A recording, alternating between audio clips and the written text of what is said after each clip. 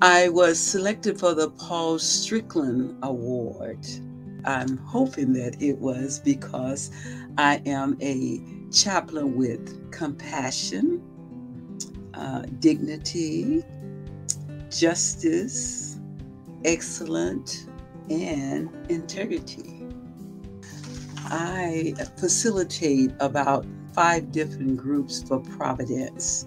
One of the groups is located at CRC, which is Crisis Recovery Center, and it consists of teenagers and adults. And majority of them do have different type of crisis. It has created a, a deeper relationship with me and my love for chaplaincy. Uh, when I think about the a lot of people are walking around with the loss of meaning, uh, joy in their life. And as a chaplain, being professionally trained and skilled to deal with uh, all different denominations and races, and so uh, as a as they come to me with those type of issues of spirituality or religion issues or concerns that are related to death or grief or emotional or spiritual well-being i say to you please nominate someone that you know that qualify for the paul strickland award because it is uh, award that humbles you and award that you have worked for uh, by helping others, being at the bedside of others, um, facilitating groups, uh, being true to yourself, having that compassionate spirit that no matter who it is, you want to reach out to them and give a helping hand. So please nominate that person that you see walking around every day either in a hospital, a facility, uh, wherever they may be, doing the work that needs to be done, that's blessing someone else, because we are blessed to be a blessing. So please nominate someone for the award that you know that deserve to be highlighted and said to them, thank you for your ministry. Thank you for the work that you do. Thank you for your sincere heart and thank you for being you.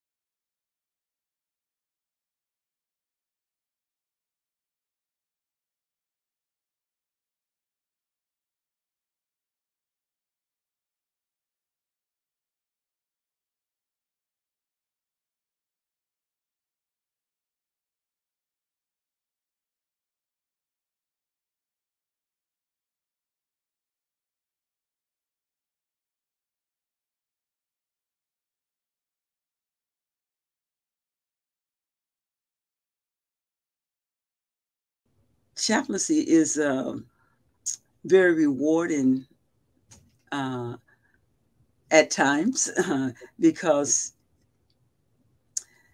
you want to try to ease a person's way. If you know a person and care for a person, you want to ease their way.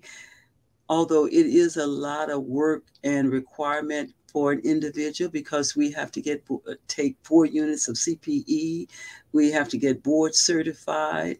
Um, we have peer review every five years, and there's 50 CEUs that we're responsible for every year. So we continue to educate ourselves and move forward. And that's what I would tell a person. And it's so important to have health for a better world. Mm-hmm.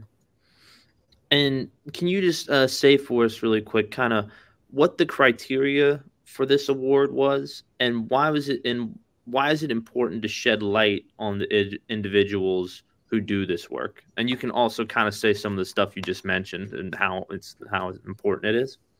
Okay. Um,